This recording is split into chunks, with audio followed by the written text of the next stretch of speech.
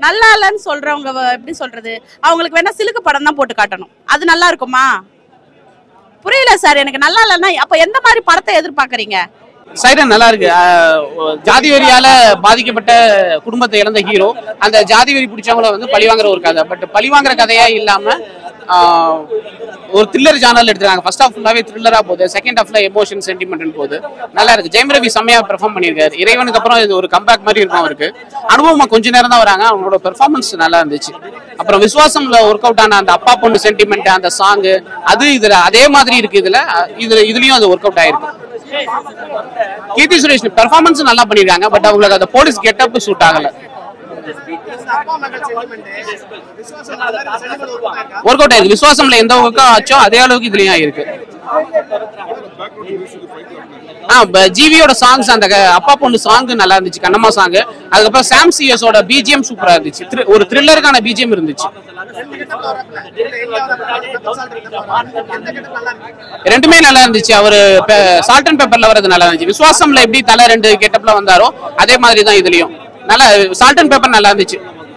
டென்னுக்கு எயிட் தரலாம். சூப்பராக இருந்துச்சுண்ணா ஆக்சுவலாக இது ஒரு பெரிய கம்பேக்னே சொல்லலாம். பொன்னியின் செல்வன் பார்த்ததுக்கு இதுக்கு பெரிய டிஃபரன்ஸ் இருந்தது. சால்ட் அண்ட் பேப்பர் லுக்கில் கொஞ்சம் ஏஜ் லுக் பண்ணியிருக்காரு பயங்கரமாக இருந்தது செட்டிலாக பண்ணியிருக்காரு ஆக்டிங் ஆனால் வேற லெவல் எமோஷன் சூப்பராக இருந்துச்சு. படம் ஃபுல்லாகவே வந்து என்டர்டைனிங்காக இருந்ததுன்னு சொல்லலாம். நம்மள என்கேஜிங்காக வச்சுட்டே இருந்தது. மெசேஜ் ரெண்டுமே நான் கமர்ஷியலுக்கான ஆஸ்பெக்ட் எல்லாமே இருக்கு. அதே மாதிரி மெசேஜுமே வந்து தப்பு பண்ணாம நிரபராதிகள் இங்க ஜெயில் தண்டனை அனுபவிச்சுட்டு இருக்கிறப்போ அவங்க குடும்பத்தை எவ்வளவு தூரத்துக்கு அது பாதிக்குது? சமூகம் எப்படி அவங்கள பாக்குது? அதனால அவங்களோட வாழ்க்கை எவ்வளவு தூரத்துக்கு பாதிக்குது? இது எல்லாமே காட்டியிருக்காங்க. சமர்ப்பணம் அவங்களுக்கு தான் இதை இது பண்ணியிருக்காங்க. பட் படம் ஓவராலா என்டர்டைனிங்கா இருந்தது. ஆக்சுவலா போலீஸ் கேரக்டர் தான். ஆட்டிடியூடா அவங்க ஆக்டிங் எல்லாமே நல்லா இருந்தது. ஆனா என்ன ஒரு சின்னனா மேனரிசம் மட்டும் மத்த ஹீரோஸை காப்பி பண்ண மாதிரி இருந்தது. அது கொஞ்சம் தவிர்த்திருக்கலாம் பட் ஓவராலா படம் என்கேஜிங்கா என்டர்டைனிங்கா இருந்தது. சூப்பரா இருக்காரு. அந்த ஏஜ்டு லுக்குக்கு பயங்கரமா இது பண்ணிருக்காரு. நல்ல பாடி எல்லாம் போட்டு அந்த லுக்குக்கு ஏத்த மாதிரி பெர்ஃபெக்ட்டா இருக்கு? அவருக்கு சாங் ஒன்று ரெண்டு தான் ப்ரோ மற்ற மாதிரி எல்லாமே பேக்ரவுண்ட் ஸ்கோர் தான். அது சூப்பரா பண்ணிருக்காரு. ஆக்சுவலி ஜிவியோட பாட்டும் நல்லா இருக்கு. சாம்சியோட பேக்ரவுண்ட் ஸ்கோருமே நல்லா இருக்கு. நல்லா இருக்கு ப்ரோ அதான் என்கேஜிங்கா கொண்டு போயிருக்கு ஃபர்ஸ்ட் ஹாஃப் எப்பவுமே நல்லா இருக்கும். செகண்ட் ஹாஃப் கொஞ்சம் பிளாட்டை விட்டு மாறும் பட் கோர் பிளாட் என்னவோ அதுக்குள்ளேயே டிராவல் பண்ணிருக்காங்க. அதனால படம் சூப்பரா இருக்கு.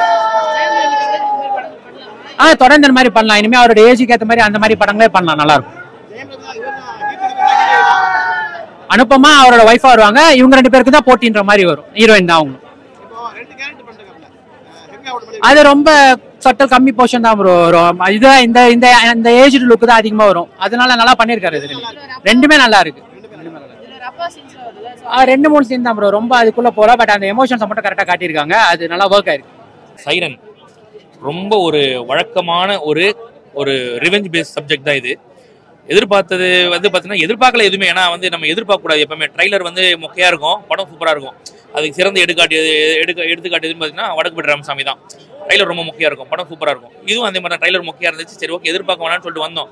ஆனால் பார்த்தீங்கன்னா ரோஹிணி அதுக்கப்புறம் இதிலெல்லாம் வந்து ஷோ டிலே ஷோ கேன்சல் அப்பயே உஷாராக இருக்கணும் உள்ளே வந்து பார்த்தா ஆள் இல்லை. அப்பயாவது உஷாராக இருக்கணும் நம்ம.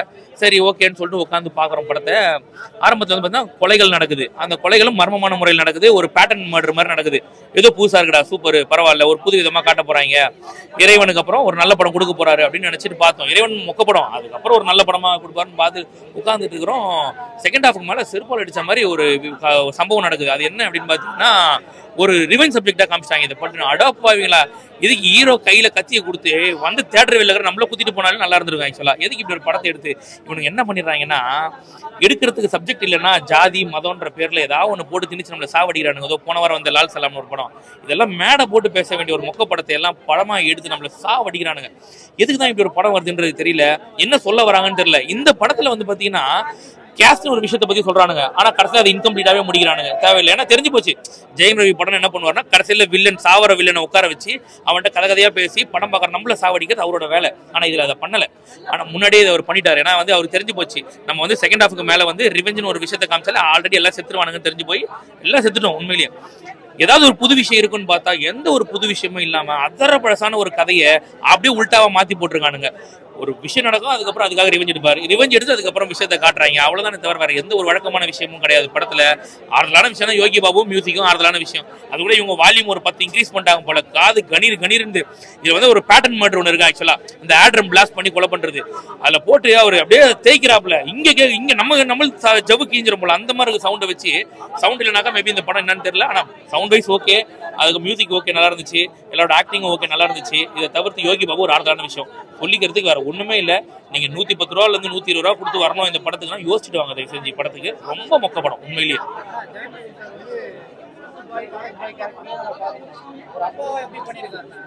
ஒரு அதான் சொல்றேன்ல படம் உண்மையிலேயே சொல்றேன். ஒரு ஸ்டோரி நல்லா இருக்கணும். ஒரு பேசிக்கான ஒரு ஸ்டோரி இருக்கணும். அது திரையில இன்னும் கொஞ்சம் நல்லா வடிவமைச்சு காமிச்சிருக்கணும். இவங்க ஸ்டோரியே வீக்கான ஸ்டோரி ஆக்சுவலா இவங்க என்ன நினைச்சிட்டாங்கன்னா நம்ம ஆரம்பத்துல இருந்து ஒரு சில மிஸ்டரியா கொண்டு போயிட்டோம்னாக்கா அதுக்கப்புறம் கதை ஓடிடும் எப்படியாவது நினைச்சிட்டாங்க. அது ஓடாது. அதுக்கப்புறம் அது ஒரு இடத்துல நிக்கணும்னா நின்றுதான் ஆகும் அது. அப்படிதான் நின்றுச்சு ஆக்சுவலா இவருக்கு இன்னும் தசவதா மாதிரி பத்து கெட்ட போட்டா கூட ஸ்டோரி நல்லா பார்க்க முடியும். ஸ்டோரி மொக்கையா இருக்கு ரொம்ப. கேவலமான ஒரு படம். சைரன் மூவி பார்த்துட்டு வரேன் சார் படம் நல்லா இருக்கு சார் ஃபேமிலியோட வந்து பார்க்கலாம். நல்லா இருக்கு. அவர் எல்லா மூவிலையும் பார்த்தீங்கன்னா பக்காவாக ஆக்டிங் பண்ணிட்டு தான் வராரு. ஸோ இந்த மூவியில் வந்து கொஞ்சம் வித்தியாசமாக இருக்குது. ஒரு அந்த அப்பா பொண்ணு எப்படி இருப்பாங்களோ அந்த ஒரு இதில் நல்லா இருக்குது பாண்டிங் நல்லா இருக்குது ஃபைட்டும் சரி அவரோட திங்கிங் ஒவ்வொரு திங்கிங் எப்படி மூவ் ஆகுதோ அதுவும் எல்லாமே நல்லா இருக்கு சார் எதுவும் எதுவும் சொல்றதுக்கு இல்லை. நல்லா இருக்கு. அழகா இருக்காரு. எனக்கு ரொம்ப பிடிச்சிருக்கு. அவர் இவ்வளோ நாள் பார்த்ததுக்கும் இந்த கெட்டப்பில் எனக்கு ரொம்ப பிடிச்சிருக்கு. அழகா இருக்காரு. நல்லா இல்லைன்னு சொல்றவங்க எப்படி சொல்றது? அவங்களுக்கு வேணா சிலுக்கு படம் தான் போட்டு காட்டணும். அது நல்லா இருக்குமா? புரியல சார் எனக்கு நல்லா இல்லைன்னா அப்ப எந்த மாதிரி படத்தை எதிர்பார்க்கறீங்க? கத்தி குத்துறதா? அதுவும் தான் நல்லா இல்லைன்றீங்க. சைக்கோ மாதிரியா? அதுவும் நல்லா இல்லைன்றீங்க. அப்ப ஃபேமிலி சப்ஜெக்ட் அதுவும் நல்லா அப்ப என்ன படம் வேணும்? அதுக்கு நீங்க கதை எழுதி ப்ரொடியூஸ் ஒரு ஐம்பது கோடி ப்ரொடியூஸ் பண்ணுங்க. அப்ப வேணா எடுக்கலாம். சும்மா நல்லா இல்ல நல்லா இல்லன்னு எந்த படத்தையும் சொல்லாதீங்க. மொத முத ஒரு டைரக்டர் எடுத்திருக்காரு. அவரை பாராட்டுங்க. நல்லாவே இருக்கு படம். சைரன் மூவி ஃபேமிலியோட பாக்குற படம். ஓகேவா தயவு செஞ்சு ஃபேமிலியோட பாருங்க. நல்லா இல்லைன்னு யார் சொன்னது? படம் ரிலீஸ் பண்ண முன்னாடி அவங்க எதில் பார்த்தாங்கன்னு எனக்கு தெரியலையே. எதில் பார்த்துருப்பாங்கன்னு தெரியல எனக்கு. தேட்டர்ல பார்த்தாங்களாமா அவங்களுக்கு மட்டும் தனியா எங்க ரிலீஸ் ஆச்சுன்னு தெரியலையே. நான் first day first show first ticket வாங்கியிருக்கேன். இந்த தேட்டரோட ஃபர்ஸ்ட் டிக்கெட்டே சைரனுக்கு நான் தான் புக் பண்ணியிருக்கேன். எனக்கு முன்னாடி எப்போ வந்து பார்த்தாங்கன்னு எனக்கு தெரியல. ரசிகைன்றதை விட ஒரு ஃப்ரெண்டுன்னு சொல்லலாம். ரசிகைன்றது நான் என்- நான் உண்மையா சொல்லிடுறேன். நான் தீவிர ரசிகைன்றது எங்க அப்பாவுக்கு தான். என்னோட அப்பா தான் என்னோட ஹீரோ ரெண்டாவது ரவி. என்ன அப்- என்னோட அப்பாக்கு அப்புறம் என் ரவி சார் தான். அப்படி இல்லையே. போன வருஷம் போர் தொழில் எப்படி இருந்துச்சு சார் படம்? அட்டகாசமா இருந்துச்சு. அதுக்கு முன்னாடி வருஷம் பட்டாம்பூச்சி அப்பயும் தான் பொன்னியின் செல்வன் வந்துச்சு. பொன்னியின் செல்வன் நான் அந்த அளவுக்கு நல்லா இருக்குன்னு சொல்லவே இல்லையா. ஆ நல்லா இருக்கு. அவ்வளவுதான்.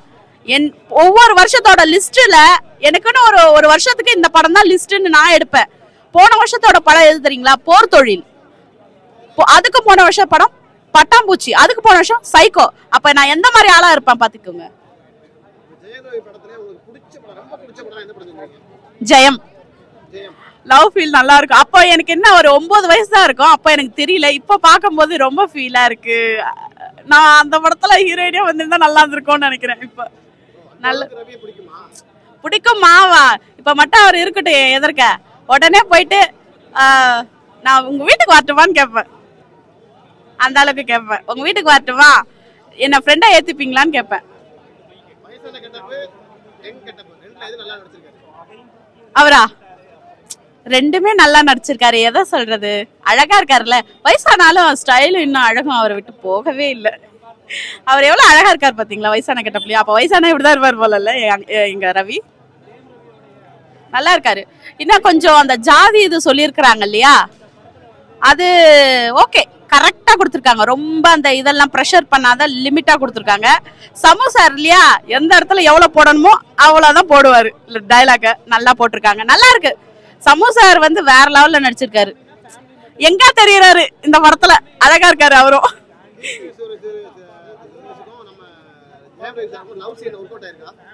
கீர்த்தி சுரேஷுக்கும் ஜெயம்க்கும் லவ் கிடையாது. அங்க வந்து வெறும் ஒரு ஒரு விசாரி ஒரு கைதியை விசாரிக்கிற மாதிரி தான் அவங்க விசாரிக்கிறாங்க. கரெக்டா இருக்காங்க. கீர்த்தி சுரேஷ் இந்த படத்துல தான் எனக்கு பிடிச்சிருக்கே. மற்ற படத்துல எல்லாம் பிடிக்கலன்னு சொல்ல முடியாது. அவங்க நடிப்பு எனக்கு அவ்வளவா இல்ல. இந்த படத்துல எனக்கு ரொம்ப பிடிச்சிருக்கு நடிப்பு. அழகா இருக்காங்கல்ல அப்ப? அழகா இருக்கத்தோட தானே பொம்மை மாதிரி இருக்காங்க. நான் எப்படி இருக்கிறேன்? அழகா இருக்கேன்னா நல்லா இல்லையா? ஆ? ஆ ஒரு இந்த படத்துல கொஞ்சம் கம்மி தான் பட் ஓகே நல்லா நடிச்சிருக்காரு. நல்லா நடிச்சிருக்காரு அவரோட மியூசிக் நல்லா இல்லைன்னு சொல்றவங்க எப்படி சொல்றது? வேஸ்ட்னு தான் சொல்லணும். அப்படியே கேட்டாலே வேற லெவல்ல இருக்கும். ஃபீலிங்ஸ்லாம் நல்லா இருக்கும். you